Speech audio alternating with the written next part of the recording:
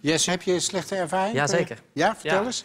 Waar ik, waar ik echt heel slecht tegen kan... Ik hoef niet op zijn Amerikaans, maar is geen aandacht krijgen. Dus dat er eh, een ober... Uh, zit je, ik zit hier en die kijkt dan de andere kant op als die vraagt... Eh, heeft ze wel een keuze kunnen maken? Nee, je moet echt bezig zijn, vind ik, met je, met je gasten. Dus als dat gebeurt, en ik probeer dat subtiel... Soms probeer ik dat wel eens subtiel. Mijn vrouw weet dat vaak minder subtiel duidelijk te maken.